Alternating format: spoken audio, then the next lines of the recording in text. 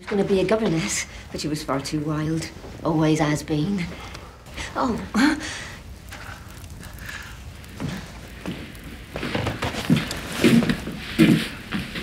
Miss Bathsheba Everdeen, I brought you a lamb. Oh, thank you, Mr. Oak. He's such a dear thing. He's come too soon and won't last the winter, so I thought you'd like to rear it instead. Thank you, that's very kind. we'll make some tea. The lamb is not why I came.